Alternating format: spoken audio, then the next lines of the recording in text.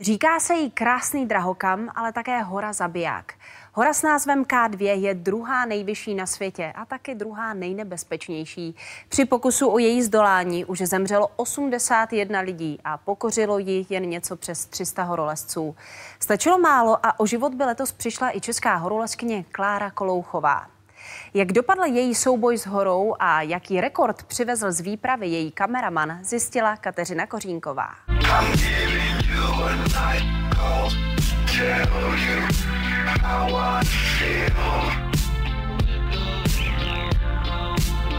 K2 patří mezi nejobávanější osmitisícovky. Jen málo kdy tu vládne počasí snesitelné pro člověka a k tomu jde o technicky náročnou cestu. Tahle hora neodpouští jedinou chybu. Drsná statistika mluví za všechno. Na každé čtyři úspěšné horolezce lze napočítat jednoho mrtvého. K2 je prostě uh, paní hora, to je královna mezi kopci i mezi horolezci, je tak chvilku vám zatrne, chvilku zatajíte dech, vydechnete a řeknete si K2. Člověk je mu neustále připomínaný, že tam je jenom na návštěvě a že vlastně ta příroda tam je tak silná, že stačí strašně málo a já jsem taková jenom odstomilka sedící prostě na slupce obrovského pohoří. Klára Kolouchová téhle hoře říká potvora. Letos v létě v období před monzuny se připojila k mezinárodní výpravě směřující k vrcholu. Zkušeností už měla dost. Její vysokohorský křest proběhl na nejvyšší hoře Jižní Ameriky. To jí bylo 27. O dva roky později, jako první Češka, vystoupila na Mount Everest a za další čtyři roky zdolala nejvyšší horu Severní Ameriky, Mount McKinley jsem si prožila s K2 mentálně takových jakoby několik vnitřních etap od eh, naprostýho v žádném případě tenhle kopec nikdy po takový ten váhavé období až, po, až do toho finálního rozhodnutí, kdy ano. A to tohle se trvalo jako několik let. Na tuhle výpravu si sebou vzala parťáka Petra Jurečku, biologa, fotografa a kameramana s velkou vášní pro drony. Jeho úkolem bylo cestu zdokumentovat. Nás seznámil kamarád a on mě řekl, že si nechci se setkat s Klouchovou na oběd. A tak já jsem si myslel, že to bude taková ta trempská horoleskyně s chlupatými lítky a tam bylo tohle. On přiběh a Timon byl vlasatý, měl ten velký baťoch na zádech, přišel pozdě, byl úplně splavený, dal si takhle pivo a během pěti minut bylo jasno.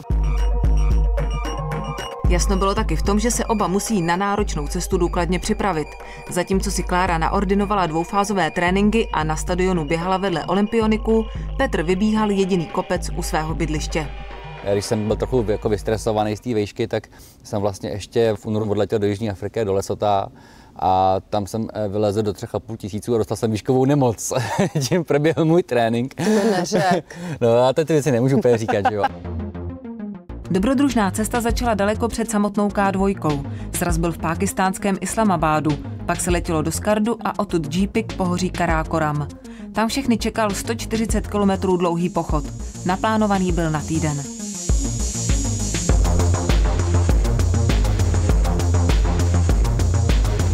To je jako cesta jako extrému, protože přes den teploty polhaly jako 40 plus, to bylo téměř jak na poušti. V noci potom kolem nuly a pak člověk jde do toho bejzu a na tu ledovcovou morénu a pak eh, a začne stoupat jsem tam kopci vejš, tak se teploty blíží minus 30. Já jsem to nevěděl, že mě horolezci jsou taky trochu pakajo. Oni ráno Uh, prostě si zbalej věci, dají si taky ty malinký baťušky na záda, jenom, že zbytek nesou teda jakože eh, nosiči, aby neměli moc těžký bágl, aby byli připraveni na ten výstup a oni to běžejí de facto, nebo jdou takovou hodně svěžnou chůzí a občas si popoběhnou, což je jako blbost pro mě, že jo, já tam potřebuji fotit, že jo, a teďka nainstalovat foťák časozběr, dát někde na stativ.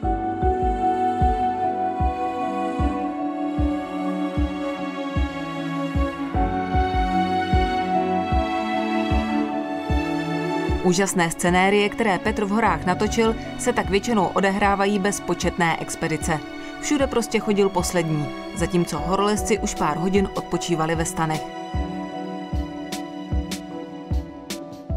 Bylo to jednoduše setkání dvou světů, a to i ve stanu, který Klára s Petrem sdíleli.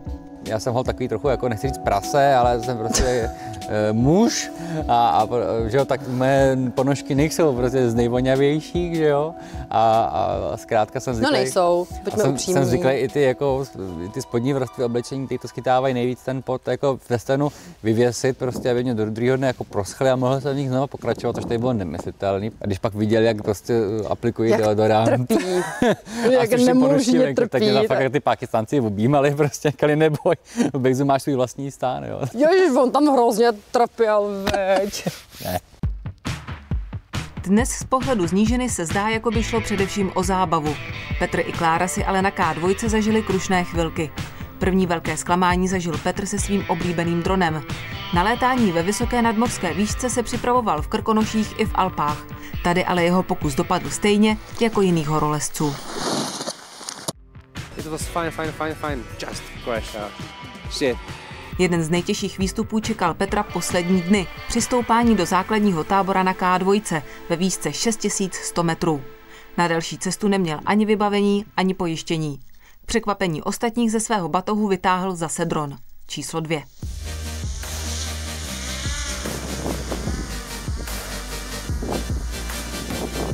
Po takovém úspěchu nemohl v noci ani zamhouřit oko. Následující den expedici opustil. Se světovým rekordem v létání v nejvyšší nadmořské výšce v kapse. Všichni říkali, že v té zimě to nepoletí.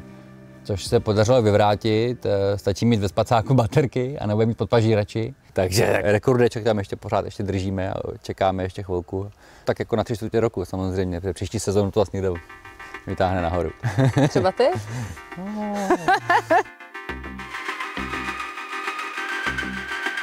Na záběrech z dronů jsou dobře vidět životní podmínky horolezců, kteří nahoře strávili ještě další měsíc. Takové výškové tábory museli ve vrcholcích K2 postavit čtyři. Vytahali do nich metráky zásob a stovky metrů lan. Aklimatizovali se a trpělivě čekali na dobrou předpověď. 20. července vyrazili nahoru to počasí bylo úplně famózní, fantastické podmínky, téměř žádný vítr, viditelnost, všechno vlastně vypadalo, že by mohl být ten ideální den. Předpověď počasí se nakonec změnila a tak skupina asi 50 horolezců přespala na místo ve třetím v prvním výškovém táboře. Zatímco byli ve stanech, spadla lavina. Na místo, kde měli původně spát. Takže jsme pak se šli podívat z hůru a vlastně naši šerpové dorazili až přímo do toho, třetího tábora a pak nám dali vlastně už zprávu přes vysílačky, že tam je to konečná, že tam nezůstalo vlastně vůbec nic. Kláře a dalším v týmu nezbylo nic jiného, než se otočit a sestupovat dolů. K2 rozhodla za ně a už druhou sezónu nikoho na svůj vrchol nepustila. Tak v momentě, kdy jste v tom základním táboře a podíváte se zpátky nahoru na kopec a vidíte tam někde na té hraně, kde přibližně byla ta trojka, a že už tam není, tak teprve vám dochází ta síla toho asi okamžiku nebo toho momentu a obrovská úleva v ten moment. A říkám si, tak tohle to mohlo být o fous. Říká se, že vysoké hory jsou návykové. Při pohledu na Petrovy záběry se tomu lehce věří. A i když teď Klára pobývá v nížinách, hory má na paměti neustále. Přemýšlí totiž o další expedici. Dost možná zase zkusí pokořit tu potvoru. K2.